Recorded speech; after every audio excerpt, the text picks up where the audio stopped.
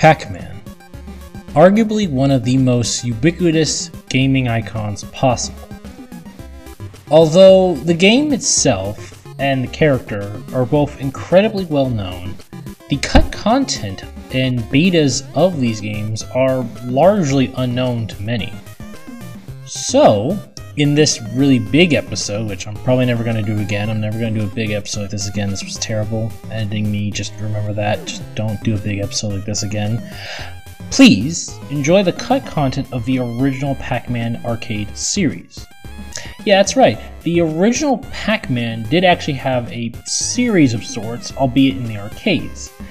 Specifically, we're going over the game releases in the arcades that were released from 1980 to 1987, so about seven years.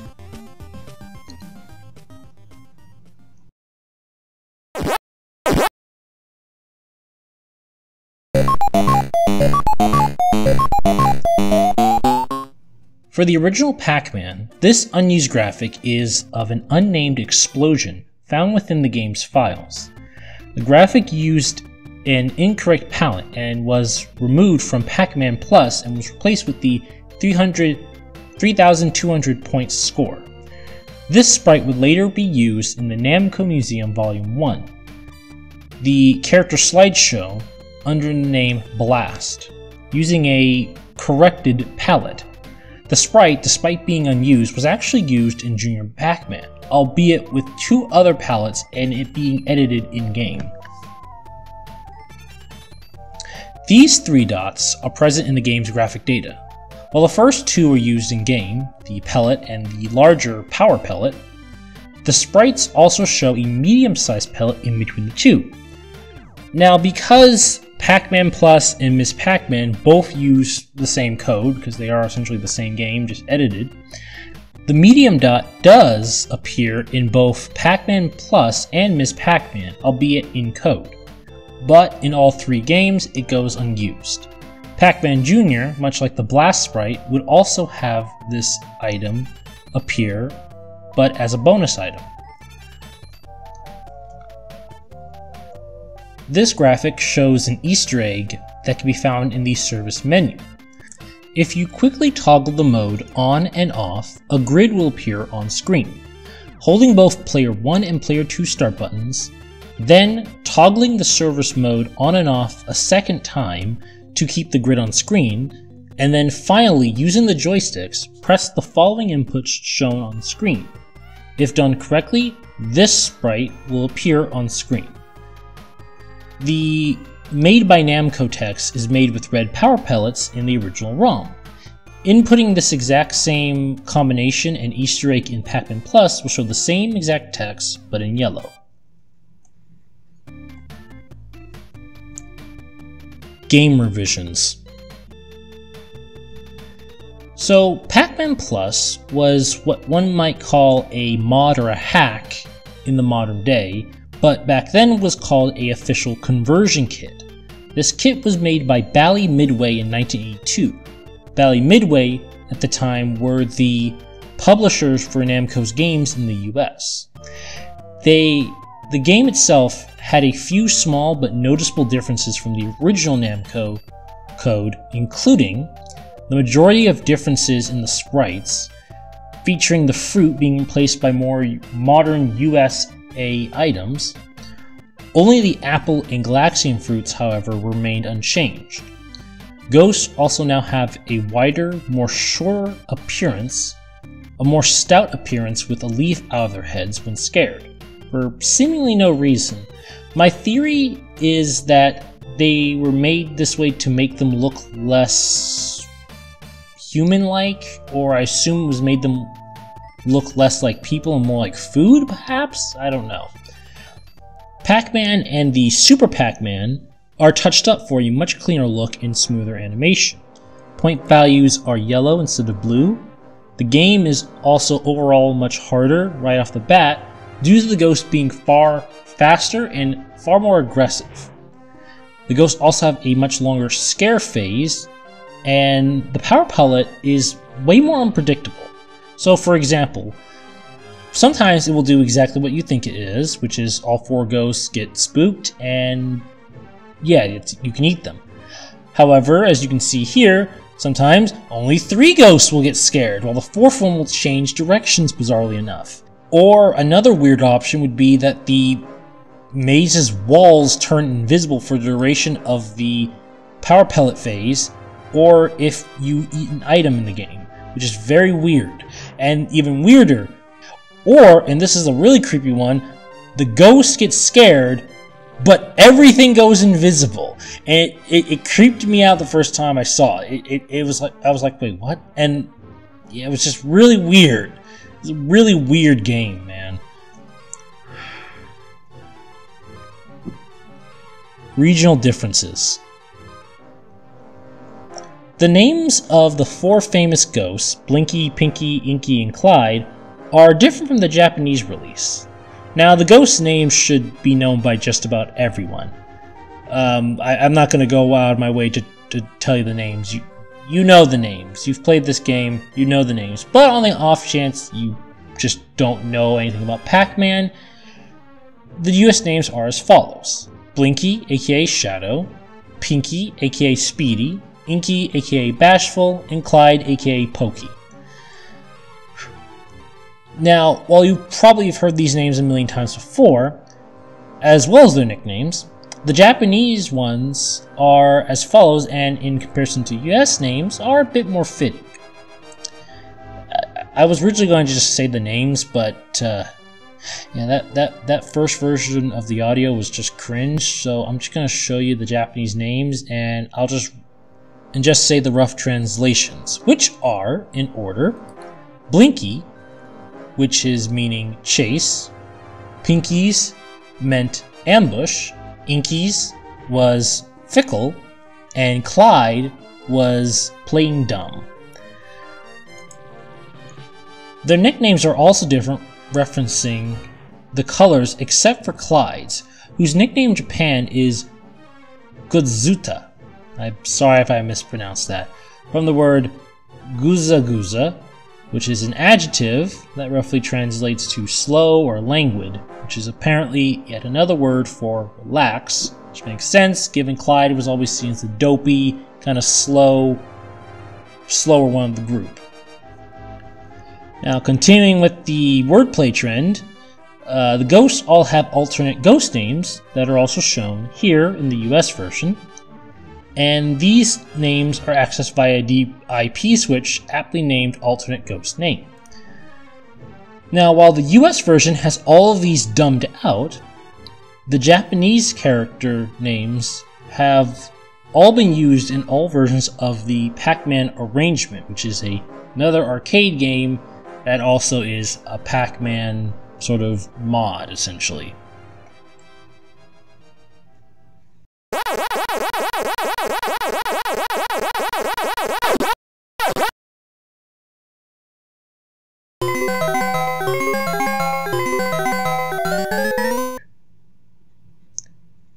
Unused graphics.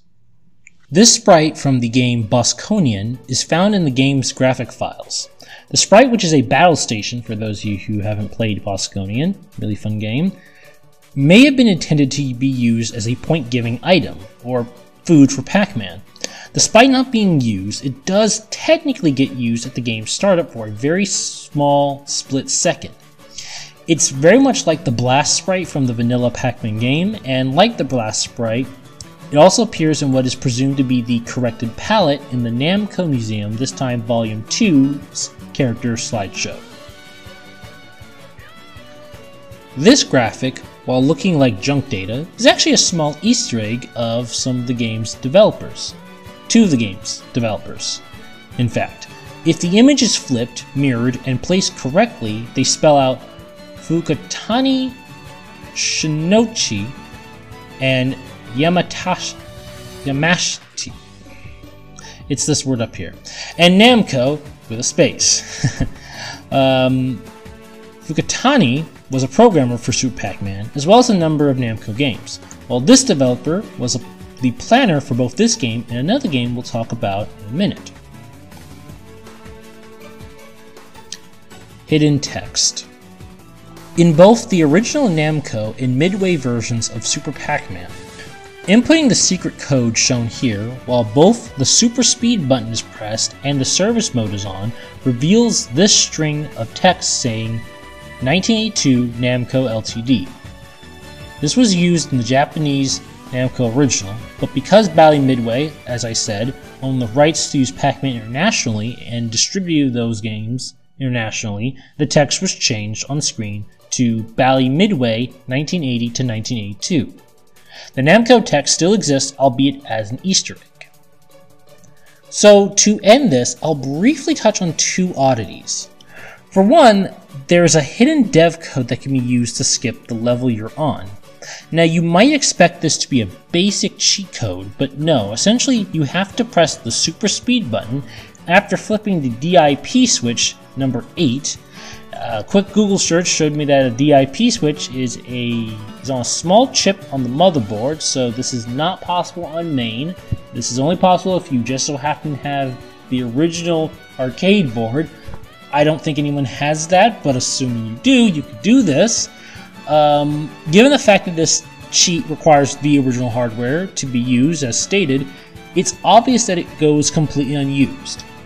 And finally, most of the Pac-Man sprites in this game have a blue outline that isn't seen in game due to the color palette.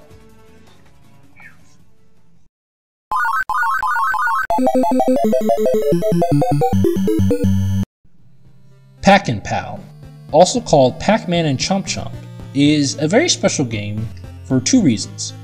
For one, it's one of the weirder Pac-Man games that has a character shown here, that steals fruit and gives it to the ghost. It's also, to some, a game where a stupid, conniving piece of shit. No, I'm joking. It's actually, he's a wonderful character. Uh, a dog named Chomp Chomp takes fruit from Pac Man and gives it to the ghost without realizing it.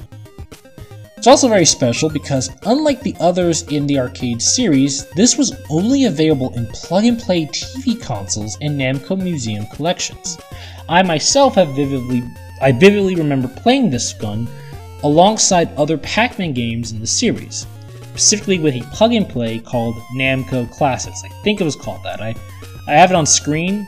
Uh, I don't think it's called Namco Classics. Uh, also, it's not really available anymore. A lot of these plug and plays just aren't available anymore. They were made by a company called Jakks Pacific, who, from if you've ever watched JonTron's plug and play TV game video, they're the ones who are really famous for making all those plug and plays. Um, I'm not really sure if this particular plug and play is even on sale anymore, but I, I it, it might be out there somewhere. I'm more than certain it is. Unused graphics. For Pac-N-Pal, this image is an animation sprite sheet showing a ghost with a comically large lump on his head. My guess, and this is just a theory, mind you, that it's meant to be a sort of comical old school trope, specifically the trope of a character in a cartoon or anime getting bonked on the head and then getting a bump.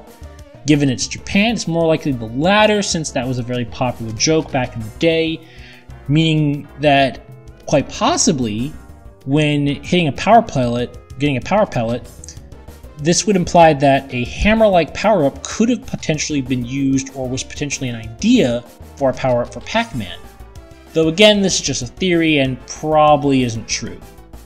The graphic shown here, while looking like a jumble of text, is actually Japanese that again roughly translates to, it's this guy again, for YY and G. Now this had me stumped for some time until I did a little bit of researching. According to the cutting room floor and my own research, the NG in the graphic refers to potentially Namco Community Magazine NG. This was a magazine owned by Namco themselves that was in distribution at the time. And the NG stands for Namco Games, so it's Namco Community Magazine Namco Games. Bit repetitive, but hey. Uh, the developer shown here also refers to this developer, and he was a planner for both this game and Super Pac-Man. Now the graphic itself is more than likely put in to take up extra space in the ROM. This is compounded by the fact that this graphic is only in Pac-Man and Chomp Chomp, which is the Japanese version of the game. As well as this, the fact that it overwrites and replaces the Pac and Pal title card in the game's screen graphics. Since these old games didn't really have a lot of space on the ROM, every kilobyte was very valuable, so they had to fill up with something.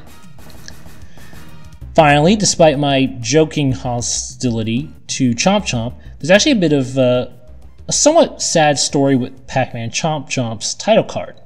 You see, Pac-Man and Chomp Chomp were originally going to be localized from Japan to the US as a separate game. However, the game became a Japanese exclusive, with this title card being the only surviving thing from that build in the Japanese version. Now you may be wondering, who is this Chomp Chomp I keep referring to and showing on screen? Well, some of you might recognize him because he's actually Pac-Man's dog from the old school Hanna-Barbera Pac-Man cartoons. Now, the reason why Pac-Man and Chomp Chomp were going to be localized in the US is because at the time, Hanna-Barbera had a cartoon that had Pac-Man, Ms. Pac-Man, Junior Pac-Man, all those Pac-Man, and Chomp Chomp, and so the game was sort of meant to be a tie-in to that game. And the game's localization was essentially finished aside from a few missing graphics. However, it didn't do well at test sites, so it was canned. I assume the gameplay was essentially just Pac and Pal, given that Chomp Chomp would have replaced the character Miru, who is the pal you see on screen and in game.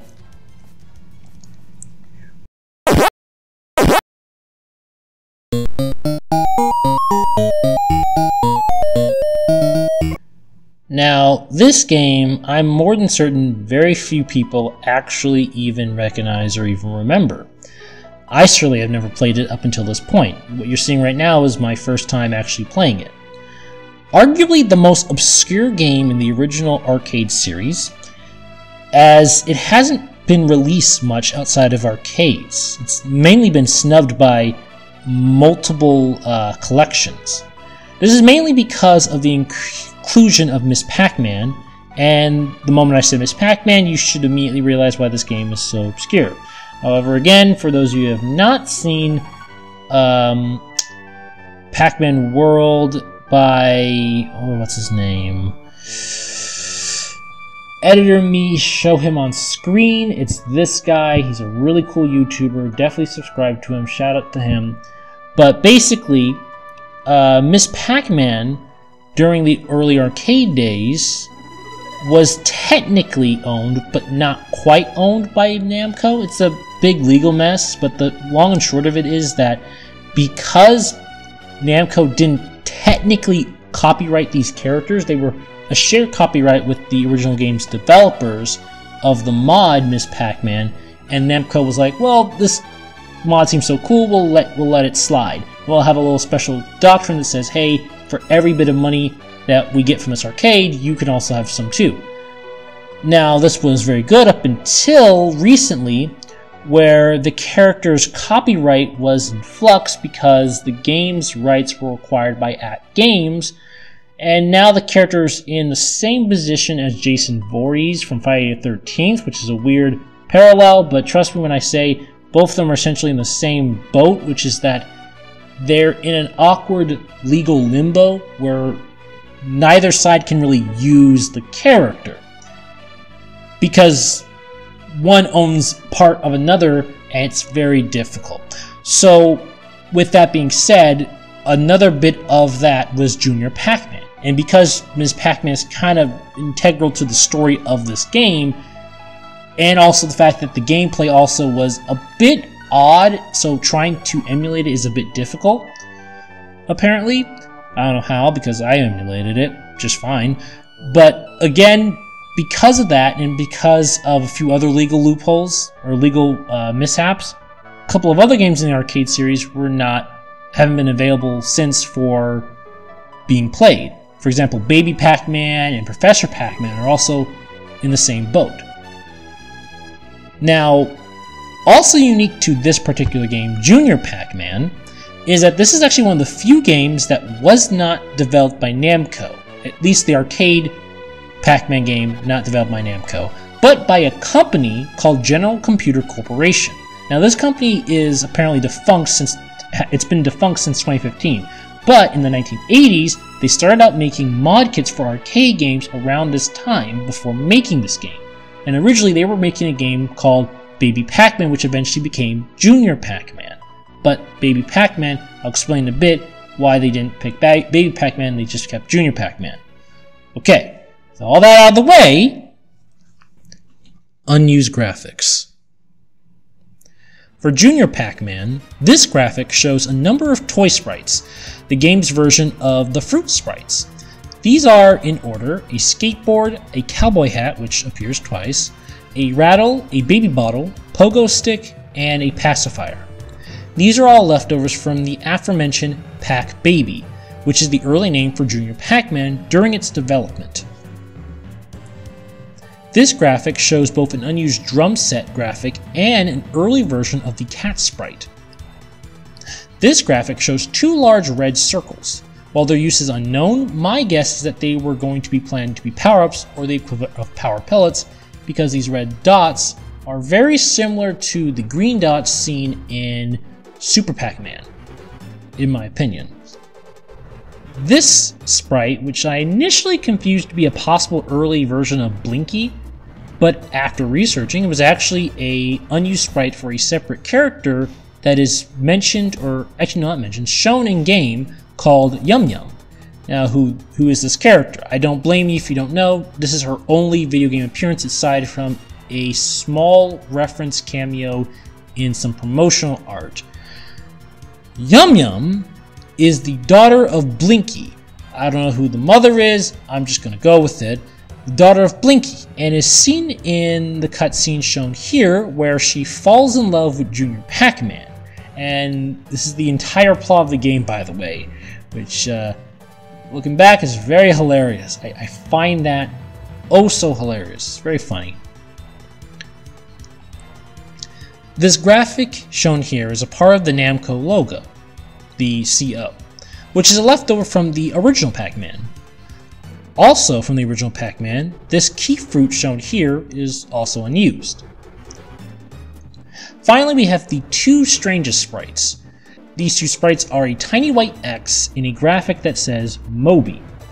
Now it's presumed that both of these graphics were made to basically just fill up space in the ROM because they don't really seem to serve any real purpose unused code. Now, this string of code shown here, it's a screenshot, is towards the end of the ROM's data, in what appears to be source code. Now, like the unused toy graphics, the several mentions of the word baby are likely fragments of the Pac Baby name that was used during Junior Pac-Man's early development. Finally, like with other games in the series, the sprite of the cat has a blue outline, However, due to the palette in-game, it goes completely unused.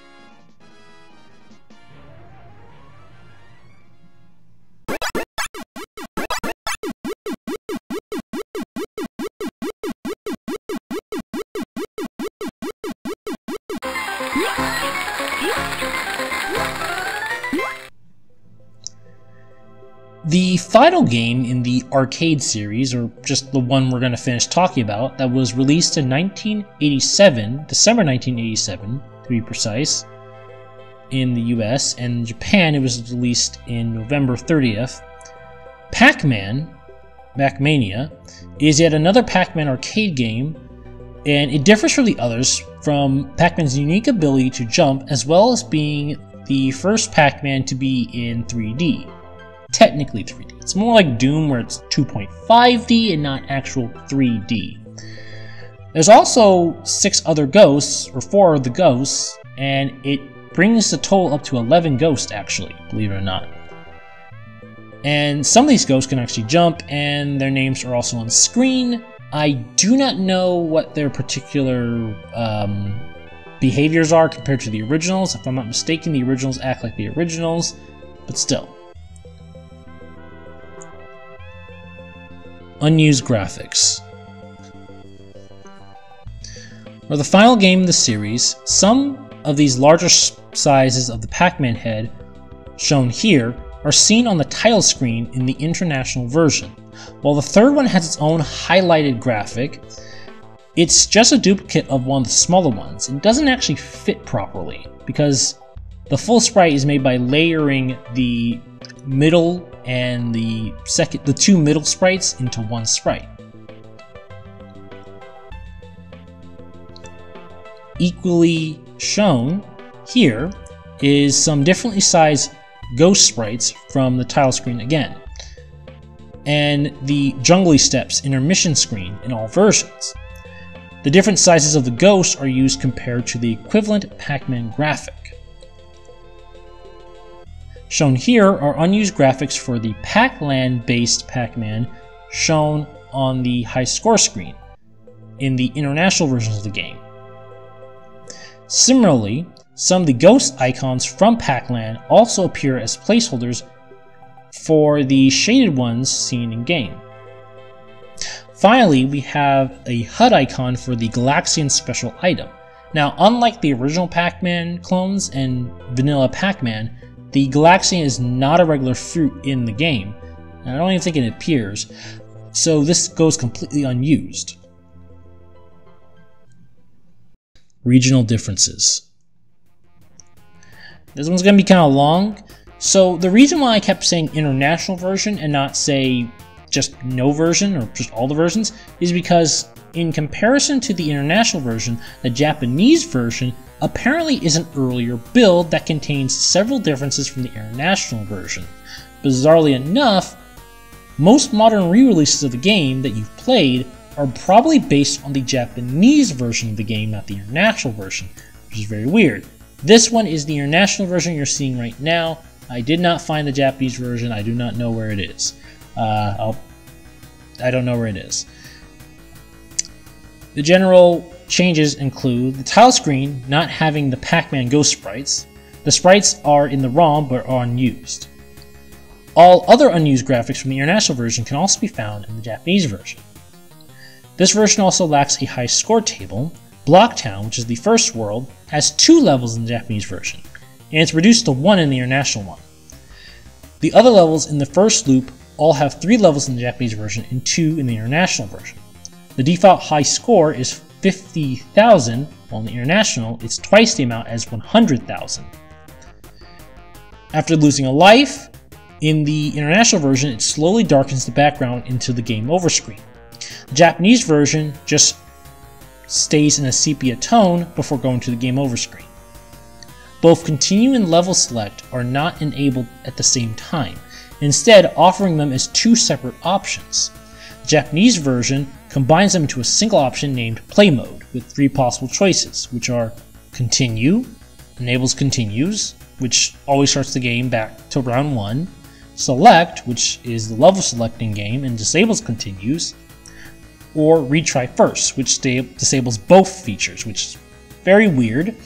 The international version also has an auto data sampling feature that keeps track of playtime, number of deaths in each level, and number of game overs in each level. It's reached by holding the service coin switch and turning off the test switch while in the test menu, which for people who have MAME, hold 9 and then push F2 on MAME. This feature does not exist in the Japanese version. Uh, overall, as you can tell, it's a downgrade, which I, I do not understand. I, I don't get that. Also, one last bit, the level select, the player must hold jump and push the start button into the title screen. Unused audio. There isn't much to the unused audio, just a single track. Now this main track that is called Blocktown, very nice music, is slightly different in the Japanese version. The Japanese version has more vibrato when playing longer notes, and the international version does not have this. Also, there are many differences in the stereo alignment of the instruments compared to the international version. Take a listen.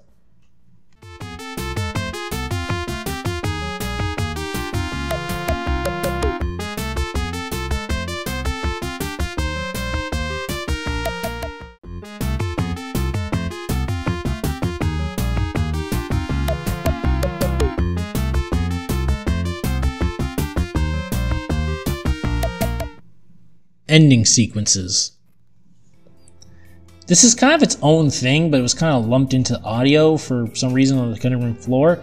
But in the ending sequences for the Japanese version of the game, it shows an endless stream of blue blobs, several shadows of ghosts, a few numbers, and a few Pac Man shapes.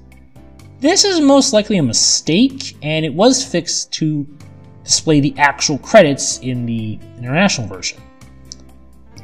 The international version also shows game over at the end of the credits. The Japanese version just resets to the attract mode. Whew!